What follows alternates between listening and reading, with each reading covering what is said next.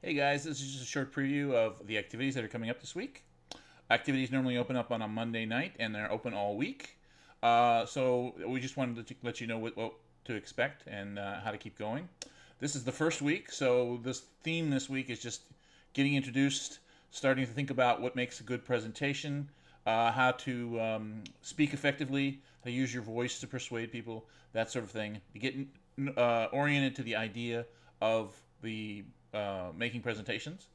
Each week thereafter, the uh, the activities will be connected to each other.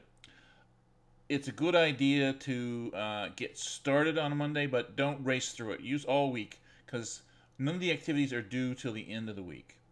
Um, this week there are intro videos.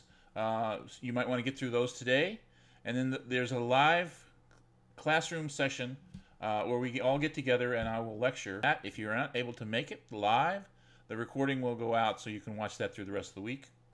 There is a reading from some books, so make sure you're able to access those books and get started on the reading. And then there's a discussion and a main activity. Uh, the discussion you might want to get started on. You're basically be talking about yourself uh, by the middle of the week.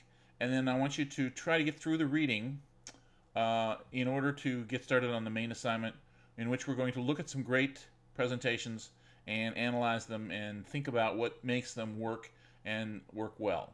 So those are the activities you have all week to get them done. You can use do everything on your own time, but uh, it's a good idea to just look at what's being asked of you and make a plan to get it done.